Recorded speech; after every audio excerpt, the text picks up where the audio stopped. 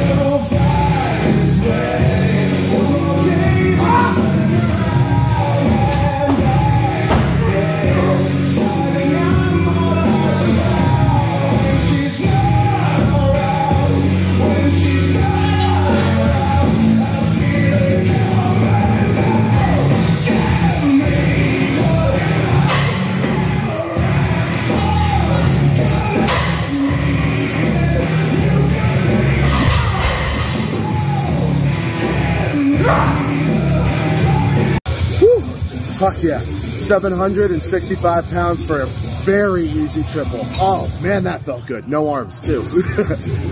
oh, I was actually kind of surprised with how strong that felt. Hell yeah, I'll take it. Let's keep this train going, baby. Hell yeah. All right, guys, we made it to Good Life. Let's uh, let's bang out a little bit of back and biceps. Gonna work the bicep head, obviously, and we're gonna do a lot of different rowing motions just with one side, obviously, because I can't anything with this one yet. But yeah, let's bang it out.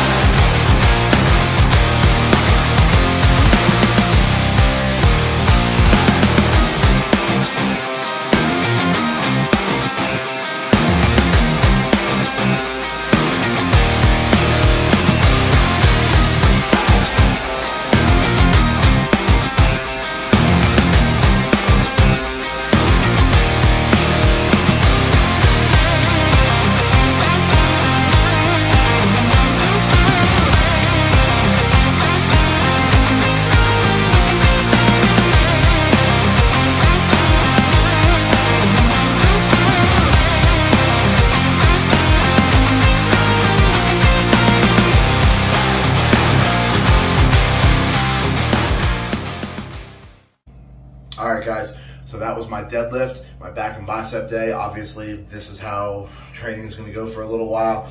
I'm actually really, really happy with how my arm is feeling. Obviously, I'm still not able to load it yet. I have a um, I have a Zoom call with my surgeon over in the UK on Friday, so fingers crossed for that. Hopefully, he gives me some good news and we can work out times when I can start training like my bicep again. I start incorporating a little bit more tendon and bicep strengthening exercises. But for the meantime, it's just uh, how things are going to be. It is what it is. I'm very, very happy with the way that 765, 347 kilos went today. Um, felt very strong. I easily had six, seven, eight reps if I really pushed it. But obviously, I was being conservative. I just wanted to leave it on a good note and feeling strong, which I did. Three reps, felt very comfortable. And uh, yeah, and then ran over to Good Life, crushed some back, crushed some biceps, did a little bit of cardio afterwards, 20 to 30 minutes on the treadmill, nothing special. Just, uh, just try and stay active. So, but yeah, this is uh, the beginning stages of recovery and the journey. So this is just, is just another day in the life. Coming back into Worlds 2023, really, really strong and really, really motivated.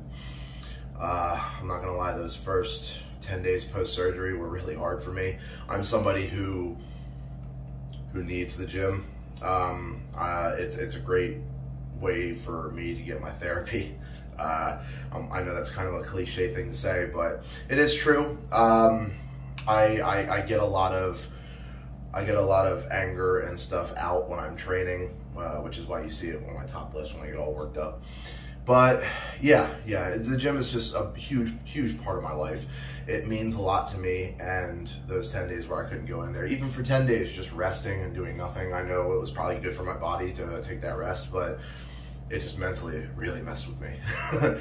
but anyway, I'm back in the gym now, so no complaints on my end. I'm back in the gym, I'm back training, and I can honestly say that I am not, I've never been more motivated than I am right now because I need to, I'm, I'm coming into 2023 a bat out of hell. I am a man possessed. I'm a man on a mission. I'm, I'm gunning for world's strongest man, and I'm going to do everything in my power to win every show that I compete in next year.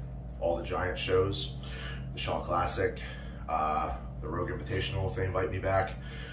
I'm, I'm bloodthirsty, and I'm ready to kill. So, if you like the video, please like, subscribe, share, comment, all of that good stuff. And uh, thanks for being part of the T-Rex Kingdom. I'll see you in the next one, guys.